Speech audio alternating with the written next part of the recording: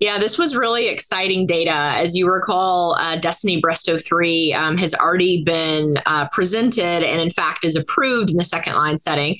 But at the last time we looked at overall survival, we knew it was statistically significant, but we hadn't reached the median survival in either arm. So we didn't have any numbers to put with this. And what we're seeing now is that overall survival is improved by about 10 months from 42.7 months with TDM1 up to 52.6 months with uh, trastuzumab deruxtecan.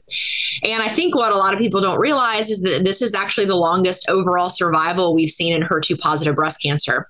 And what's even more impressive is that this was a second line trial. So patients had already received a line of therapy in the first line for metastatic disease. So to see essentially a 4.3 year overall survival in the second line setting and beyond is really encouraging to show that we are making strides in this disease and helping people to live longer.